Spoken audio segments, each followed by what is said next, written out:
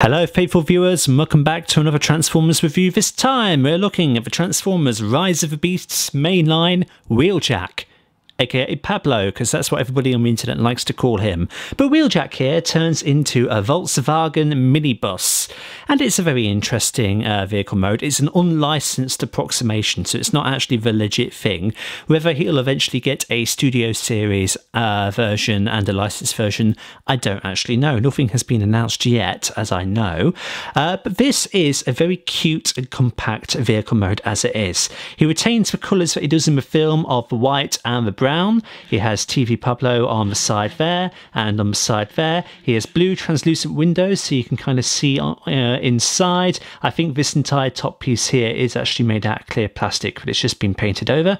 He has some nice detail on the front, uh, some nice silver grill work, some blue lights, and a nice red Autobot symbol on there and uh, flipping to the underside does a good job of hiding what becomes what. Here, his head is visible and you can make out his arms, but his legs are very nicely hidden. So kudos to him for that. Nice rear detailing for the back of the van there, and overall it's just a very nice vehicle mode. He rolls beautifully, no problem there at all. A wheeljack here comes with a black rifle, I suppose it is. I think it's just a bit too big to be a pistol, so it's uh, a rifle. I don't think he even had this in the film. From my memory, it's an arm cannon he sports. But uh, it's interesting. It has some uh, good detail on it for what it is, but it is a little bit basic. It can attach to the front of the cab there. It is a very loose fit though. I think that is more born for robot mode than anything else. Alternatively, here's support at the back here, and this fits a lot better for vehicle mode. And so that looks actually pretty decent. We should also just quickly turn our attention to Wheeljack's packaging. My copy is not part of the Buzzworthy Bumblebee line. Uh, this is just the mainline version um, with the standard packaging. So you can see Wheeljack in his glory on the front there. It says Wheeljack right there. Turn it to the side. There he is again. It says Deluxe Class in various languages. Turn it to the back. 23 steps of transformation. It says Wheeljack up there. And a load of legal gift gaff goff on the back, on the bottom there rather. Uh, on the side here, it says authentic Transformers, so you know it's not a knockoff. Transformers Rise of the Beast on the top there and some more Lego Majumbo on the bottom. So coming on down to transformation. Now Wheeljack is notorious for having a few clearance issues. I've kind of found a way to get past it with regards to his head and I'll demonstrate it when we reach that part of the transformation. But for now we want to begin by ripping off his rifle there and just discarding it and then where to begin? Let's start with the legs. So we're going to split the, the van right there and we're just going to start wiggling it. We're going to come to the underside and just disconnect his braces and just leave them hanging.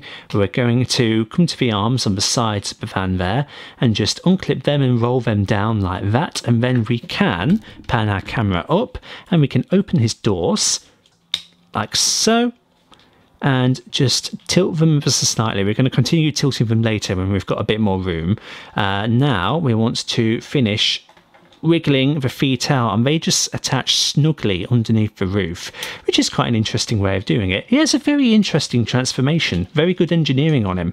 Now, with the legs, we want to be taking the back of the van here and we want to be getting these panels back out. We want to be splitting the legs and then rotating these panels.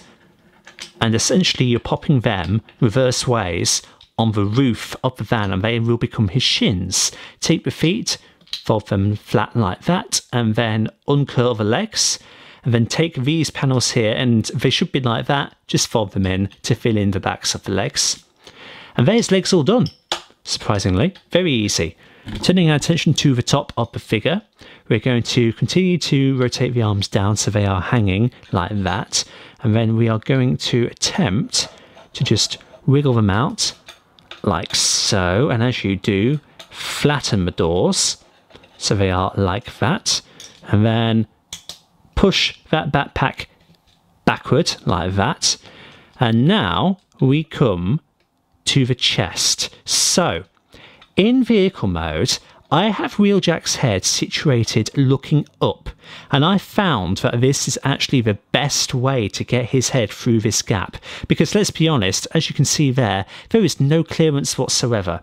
And a lot of other YouTubers have had trouble with just paint scuffing, especially the Autobot symbol on the crest of his head. But if you have his head looking up, the only things that bump into one another are the sides of his goggles to the gap that he has to thread through. By keeping his head up, you are sparing that Autobot symbol on the crest of his head, and I find that that is the most effective way of getting his head through that gap. So if you want to take notes, that's the most valuable note to take. So do that, and we're just going to finish rotating the arms. Just like that, straighten his head. Then I'm going to collapse the torso in on itself just to shorten his overall body length. And then another little issue that this figure had was this torso piece connecting into here. It used to be a very loose connection. The way that to fix it, if you've got like stability issues with a figure, is to do with the white tab here. You might need to shave a little bit of it down. Uh, all I ended up doing was taking a file and shaving this side of it ever so slightly. But the, the best way to achieve a solid fit is to really, really push here. Get a lot of force into it like a ridiculous amount of force and hopefully it should stay. And then the final thing we want to be doing is taking his pecs and getting our nails in or approaching them from sides and just lifting them up so that at angles and then you can feed his braces underneath there and just shut them closed. It's not a very good tab to keep them secure, but it is what it is. Angle his wings as you feel fit, and there you go. That is Wheeljack all done. So turning our attention to Wheeljack's robot mode, I like the design. It's not your classic Wheeljack, sure, and all the controversy stems from the fact that Wheeljack was briefly in the Bumblebee movie, and he looks like G1 Wheeljack, and that shares continuity with Rise of the Beasts. Get over it, folks. Come on, it's not that big of a deal. Yeah, sure, for our continuity purists, it is infuriating. But, you know, at the end of the day, you had in Transformers Armada a Wheeljack that looked like Sideswipe. It's not that big of a deal, really. But this design of Wheeljack is good. It's unique, and I like that. It is very nerdy, and Wheeljack is a very nerdy character. If we have a look at that head sculpt in greater detail, he has big old nerd goggles, which I've heard are removable, but I don't want to test that, to be honest. Uh, I, I, don't want to just break him. He's got a nice Autobot symbol on his head, uh, but again, that can be subject to scuffing because of the clearance issue. But if you have his head tilted up, you won't have that problem. Very nice chest. I appreciate how it's all broken up there, kind of like a bumblebee sort of thing going on where you can move those pieces up so it's not all just one static, boring piece. That's good. He has wings on his back, which he does in the film. That's awesome. He has uh, a good backpack overall, not much in the way of kibble, which is spectacular. Uh, in terms of his hands, yeah, uh, this is a common critique about the figure, and I can see why. Only the tops of his hands are painted, the rest of them, the boring brown, orange, bronze kind of thing he's got going on here. Did the budget run out? Who knows? Who cares either? Uh, coming down to the figure, you can see the other remnants of headlights there, which he does have his headlights there in the film, uh, but to mask that, they've just decided to leave it all unpainted bit disappointing, but you know, for consistency's sake for this figure, I suppose it's acceptable. And then you've got the back of the van, which has now ended up on his shins.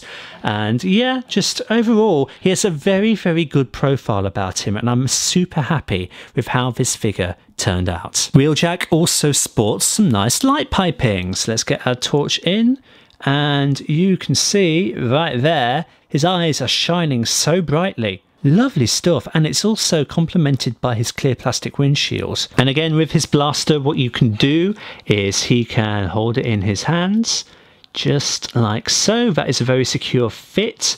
And then alternatively, if we try and wiggle that out, he has that port on his back. And if I decide what way round I want my gun, now you can push it in now that we've shoved the roof down a bit and it just sits rather securely in there so that's good as well. In terms of articulation, Wheeljack's head I believe is on a ball joint and he can turn it roughly 360 degrees. There we go. That's pleasant surprise for you. He can turn his head up like that, and I recommend that for transformation. And then he can also look down ever so slightly but not much. In terms of the shoulders, you've got 360 degrees of rotation thanks for them being on a ball joint, and he can lift his arms up about that far. He has a bicep rotation thanks to being on a mushroom peg of 360 degrees. He has a 90 degree bend at the elbow, and that's kind of it for the arms. He does not really have uh, an ab crunch per se, but it depends on how stable you've got your figure's torso. If you've got that really plugged in as far as it can go, then that locks him in place. But you can see here this backpack bit doesn't really want to stay in place, or his torso really ever back. So he kind of can do an ab crunch if you kind of mistransform him, but otherwise he doesn't have a lot going on. He has a waist swivel of 360 degrees. He can forward kick an impressive amount. He can back kick an impressive amount. He has uh, an okay spread, but nothing to write home about. It's a little bit of inward and outward swivel at the hip. He has no thigh rotation, unfortunately. He has a good 90 degree bend thanks to transformation, and he has a ball jointed ankle. So he's got 360 swivel, he's got up and down, and he's got rocker. Overall articulation is very impressive for Wheeljack. I am very blown away by this guy. Turning our attention to size comparisons, here is Rise of the Beasts Wheeljack next to Transformers Energon Downshift. Downshift being ever so slightly taller, mainly thanks to the shoulder kibble. Next up is Rise of the Beasts Wheeljack next to Transformers Prime, Robots in Disguise Wave, Wheeljack. And they are actually very similar in terms of head height, with the Rise of the Beasts one being ever so slightly taller. But your Prime Wheeljack just ultimately being the bigger figure, again, largely in thanks to the shoulders, but also with the weapon storage, just increasing his overall height. Now comparing two mainline Rise of the Beasts figures, we've got Wheeljack on the left and we've got Airazor on the right. Airazor who never transformed in the film. These two are the standouts of the mainline for me.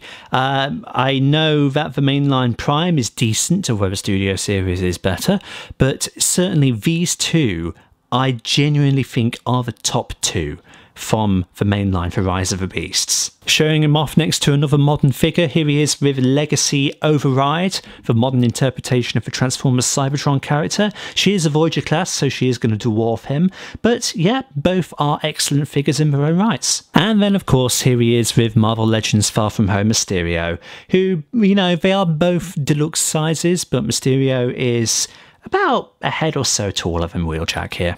To transform Wheeljack back into his vehicle mode, what we want to be doing is first of all unclipping his braces from his torso. So just lift his pec pieces up ever slightly, just so they can detach, and you can slap them all the way down just like that. And then you want to disconnect him at the waist, like so, leaving these out because these actually want to be the last things that we deal with here. Tilt his head back like that then that is the arguably the best way of actually getting it over. Uh, right, then regarding his backpack, you can uh, lift it up and it should just tab into place like so. Uh, then extend his torso to get his lower half out of the way. And then we can just rotate the shoulders in as best we can. Come into the door wings and let's just get them back like that. Rotate the shoulders, just rotating them as you go. Just rotating the doors and getting them in like that. And then you can finish your rotation of the shoulders and making sure those wheel arches are in place. And then coming to the legs, we are going to, the, the legs are the easily the, the most fun part of this transformation. So flip those back panels out like that. And then we can bend them at the knees, make sure they're tabbed in like that. Take these panels here, rotate them round, continuing to bend him at the legs. Just getting those bits attached to the back there, then taking his feet and straightening them like so. Same thing on the other side here, just continue to bend the leg. And then take his knee, or his shin rather, and just rotate it round onto that side. Then take his foot and straighten that. And then feeding the toes through the bottom, just there of the roof, is what you want to be doing. Uh, I'm just attempting to doing it with them uh, not attached, but I'm just thinking to myself it might benefit if they are already attached. So let's just do that and see if we have a uh, a bit of a smoother transition.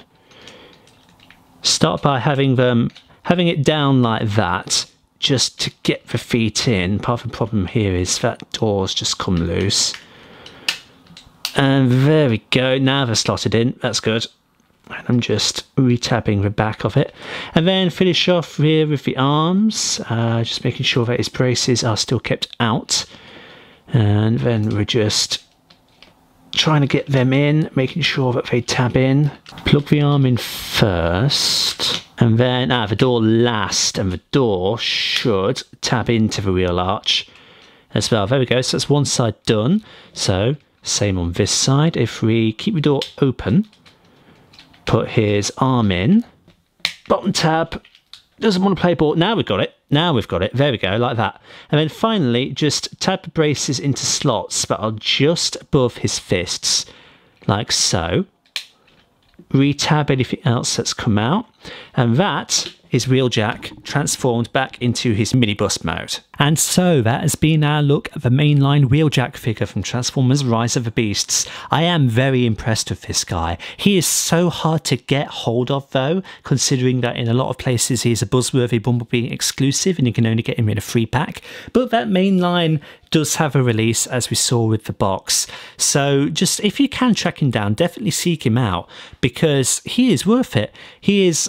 very fun to play with. He's got a very satisfying transformation. Sure, it's a clearance issue, but I found a way to get around it all right. And yeah, he, he maybe isn't the most stable figure in the world, but again, there is a workaround with that. Overall, I think he's excellent.